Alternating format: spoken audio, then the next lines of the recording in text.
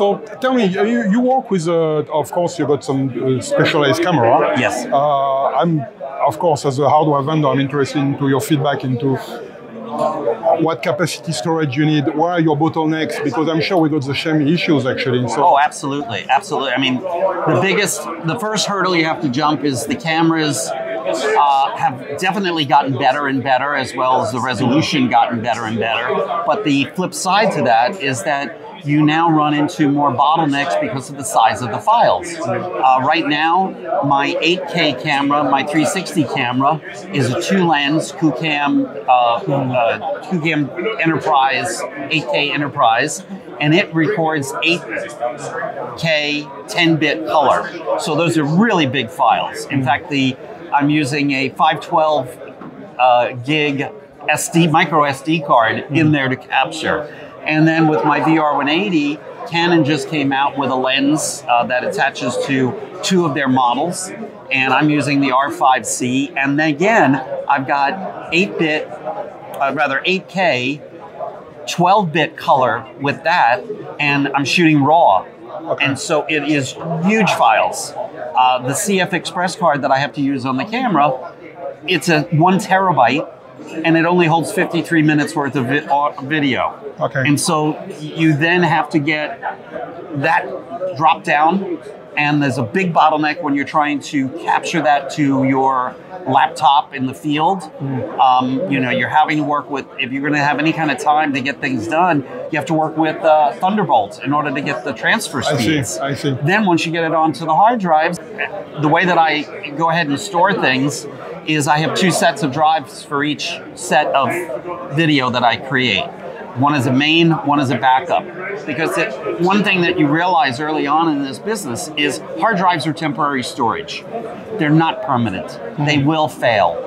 And strange things can happen. So, you know, a hard drive falls, it's, you know, it gets, the, the file gets corrupted, the hard drive crashes. Mm. So you've got to keep backups. And I've gone from 500 gig hard drives to where now um, I just I'm just getting in a 14 terabyte Seagate uh, Iron Wolf Pro today, and I'm going to start transitioning into these monster-sized drives, Okay. which is great because up until now it's been five terabyte has been like the biggest size, and I'm still archiving my stuff onto two small drives, but they're excellent little drives. They're very durable, and I, knock on wood, mm-hmm. I haven't had any crashes with them. But again, having two sets, it makes it it's so secure.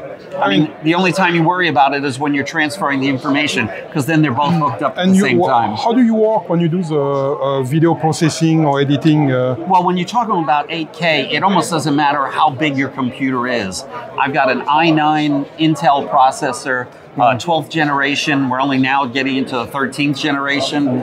Um, and, you know, it's fast, but it can't even live stream 8K. You've got to go ahead and create proxies. So now you're adding even course, more yeah, storage.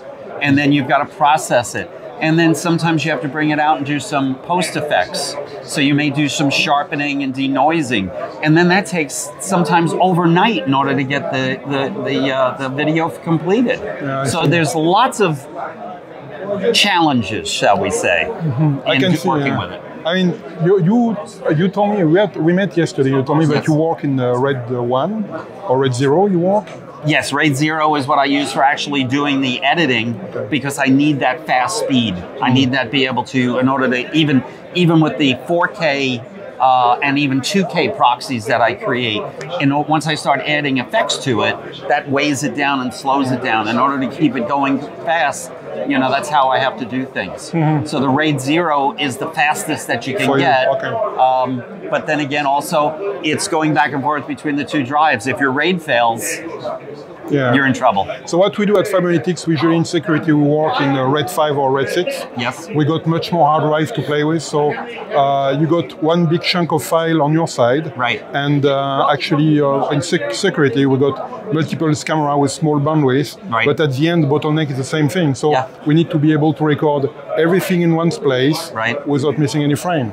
So we, it's challenging there. And then when you add your uh, uh, image processing or when you do some special effects, then in our case, we got video analytics guys Right. who need GPU running at the same time. So you need to keep writing at the same time, Yes. but be able to process it at the same time. I was thinking that with your experience and everything, actually, we find out that actually we have exactly the same bottlenecks. Yes. And we can talk, we talk exactly the same language, but we are from different industries. Yes. We use the same component. Yep. And that's actually why uh, that discussion is really, uh, uh, uh, for me, entertaining because I came from that field before. And I can see that uh, uh, what you say, it's not, I mean, it's totally relevant for us. Yes, You know? absolutely. It's very, very similar. That you know, you, may not have to do the special effects that I do, and you may not be shooting in 3D, but you're still it's still data, and it's data flow, Yeah. and you've got to keep a good, strong connectivity to keep everything moving smoothly.